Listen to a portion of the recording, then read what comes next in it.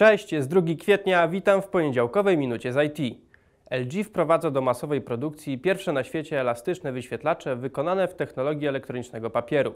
Urządzenie z wyświetlaczami LG mają trafić na rynek europejski już w kwietniu tego roku.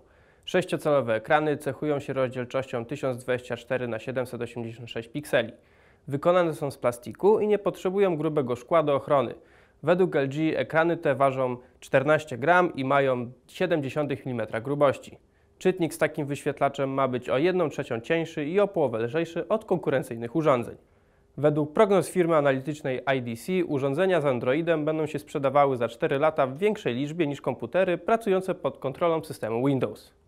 Zastanawiacie się, czy kupić laptopa z procesorem Intel Sandy Bridge, czy poczekać na premierę procesorów Ivy Bridge? Informacja, która wyciekła od ich producenta, może Wam pomóc w podjęciu decyzji. Procesory miały ukazać się na początku kwietnia, ale odłożono ich premierą o kilka tygodni.